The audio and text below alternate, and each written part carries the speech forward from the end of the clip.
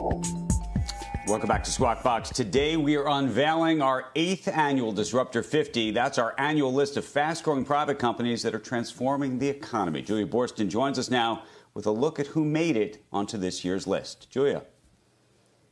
Good morning to you, Andrew. Well, this year's list was drawn from more than 1,300 nominees, calculated based on a uh, mix of quantitative and qualitative metrics with help from an advisory board of more than 50 leading academics from business schools around the world. And this year, we included an extra round of assessment to take into account each company's response to the pandemic. Here are the first five companies on this year's Disruptor 50 list.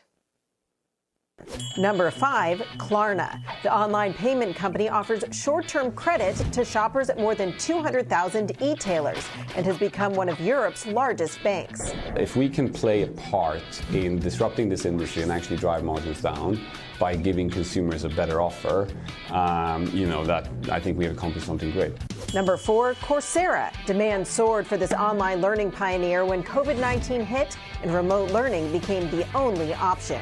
Number three, Indigo Agriculture, on a mission to fight climate change and secure the world's food supply.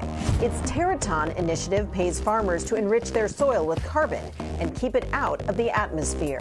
And then over time, as, as farmers change their practices, we're actually reducing their footprint. In fact, can even flip that around and make farming carbon positive. So start to be part of the solution. Number two, Coupang, the Amazon of South Korea with a few twists, including reusable packaging and dawn delivery. Its promise to deliver orders placed before midnight by 7 a.m. the next day. And number one, Stripe. If you're buying just about anything online, Stripe is likely helping with the payment. Partners range from Amazon to Zoom Video. The world's highest valued fintech company is backed by all star investors, including Andreessen Horowitz, Peter Thiel, and Elon Musk. The company committed to remote work more than a year ago, hiring over 100 engineers with home as their home base. So it's been able to handle surging demand as all of its employees now work from home. This year's Disruptor 50 raised nearly $75 billion, amassing a combined valuation of more than $277 billion. You can find the whole list plus more about our methodology on cnbc.com slash disruptors. Andrew? Nice list. Uh, quick question for you. What, what are really the, the trends that you're seeing that emerged on, on this year's list relative to last year's list? Well, we saw more fintech than ever. There were 12 fintech companies, five of which were focused just on payments. Of course, we had Stripe in the number one spot. And also, as we focus more on the trends that are accelerated by the pandemic, we saw healthcare and logistics. And then, in terms of the underlying technology this year, huge emphasis on machine learning and artificial intelligence. More than half of the companies on the list said that they use either AI or, uh, or machine learning. Okay, maybe a trickier question. What about the issue of diversity? And I ask because there's been so much focus on the lack of diversity in Silicon Valley. So, how does this list stack up this year?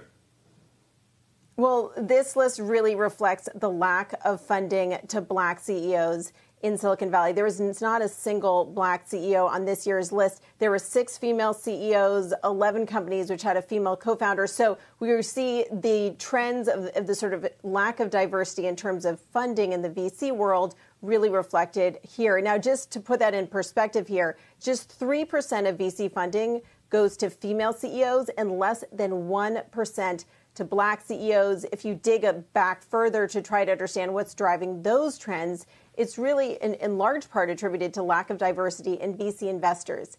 65% of VC firms don't have a single VC single female investor, and 80% of firms don't have a single black investor, um, according to All Allraids and Black VC. So, really, um, a, a, lot of questions happening right now about what can be done to improve the diversity um, among the VC community and also in the types of companies that get funded. Um, so there have been a, a, number of announcements, Andrew, whether it's from Andreessen Horowitz, a new one out today um, from the National Venture Capital Association, trying to under, address those underlying issues.